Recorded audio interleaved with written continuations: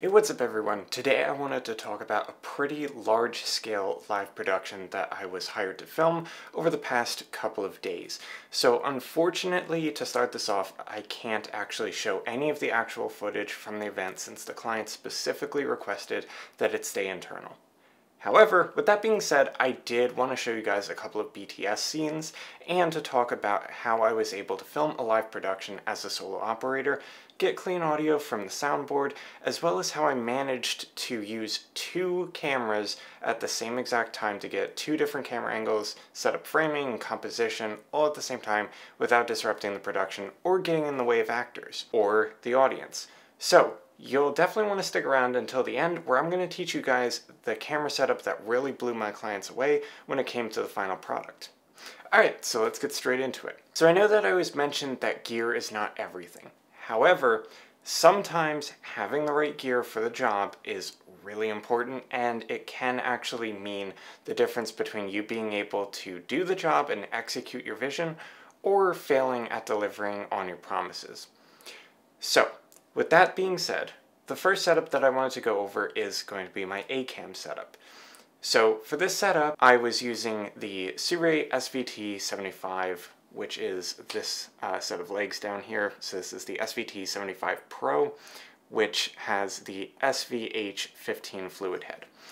By the way, stay tuned to the channel since I'm going to be going over this and getting back into the swing of doing gear reviews on some of the other products that I have sitting around that I think you guys will really enjoy.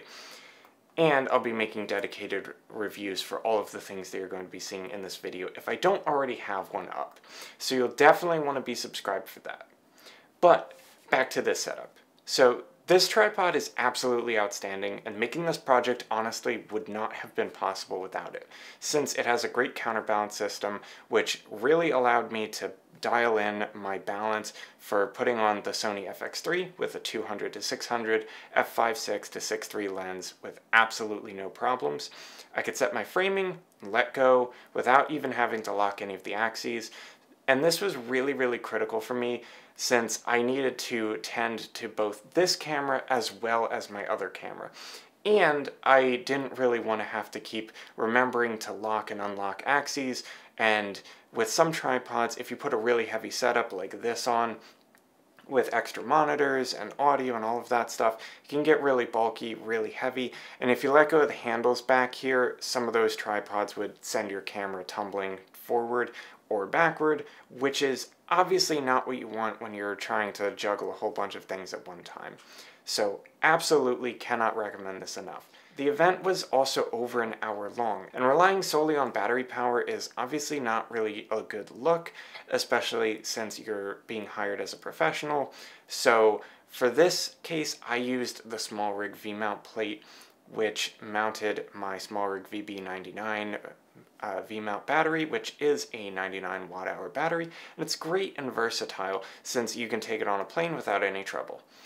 And it also has a USB-C output as well as a D-tap output, which leads me to the monitor that I was using, which is of course going to be the Atomos Ninja 5 Plus. If you haven't seen my video on this monitor, definitely go ahead and check that out. I'm going to leave it linked right up here. But it's a really helpful tool, especially when you're doing live production, where every second counts, lighting may not necessarily be under your control, and you have to respond in real time to those exposure changes. So this is where the false color really comes in and really helps out, since you can quickly identify where things are a little bit too hot or a little bit too cold as far as your exposure, and you can dial in as appropriate. So, that is definitely something that is really important that really sped my workflow up quite a bit. And the next thing with my FX3 kit that I built out was the Sony top handle for the FX3 and the ECM XM1. So I didn't actually really use the shotgun mic, but I wanted to have a good backup in case any of my other uh, audio that I was recording directly off of the board ended up failing and I needed to have something to deliver to the client. So that is something that I would always recommend is having backups and if possible backups for your backups. Plus, if you don't have scratch audio on your primary camera and you're recording external audio, it can be a bit of a pain to sync up afterwards if you're not using timecode. If you're using waveforms, especially in DaVinci Resolve, you can just highlight everything, click uh, align by waveform, and it'll find all of the waveform peaks in all of your video clips and align all of them automatically on your timeline, which is an extraordinarily helpful tool. But again, I'm going to be going more into how I actually recorded audio in the audio section of this video. And finally, I used a PolarPro Basecamp matte box with the VND 2 to 5 stop filter. Though the event was indoors and it was relatively dark inside, I use Cine EI on the FX3, and so I really only can use the two base ISOs. Though you can adjust ISO in the camera, it's really only just adjusting your viewing exposure, not the actual camera ISO.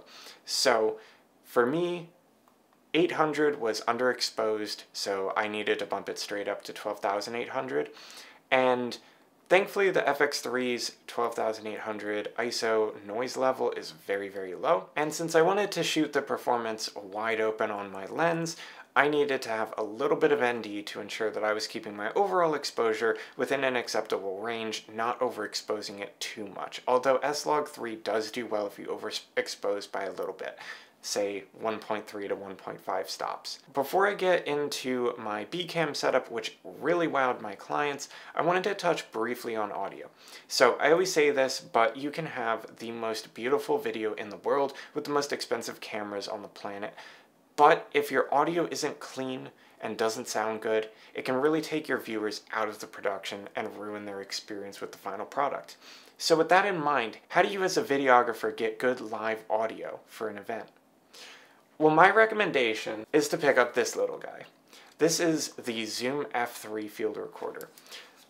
Along with this, you're going to want to pick up a couple of other accessories. So I would recommend picking up a good quality XLR cable probably something in the 15 foot range just so that we have a little bit of latitude in case you need to put it further away from the board or you need to hide it away or something like that. I'd also recommend picking up one of these guys. So this is an XLR to quarter inch cable as well.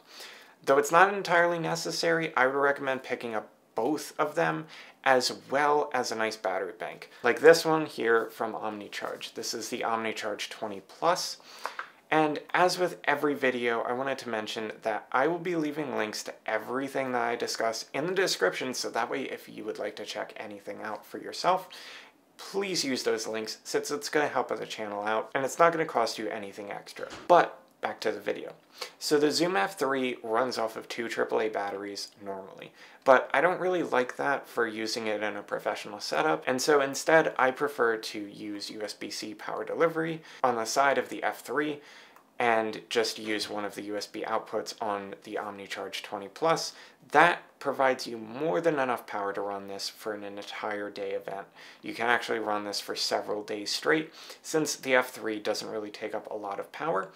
And another thing that is really great about the F3 is that it records in 32-bit float, which you may have heard from other YouTubers that it's kind of like RAW for cameras, and it is. If you record something and it clips, or basically if you're not familiar with filmmaking and audio lingo, it goes above the threshold for your recording and it starts to distort you can actually bring those levels back down and you can recover that audio, which is not possible with other types of recording if you're using 24-bit or other lower bit depths.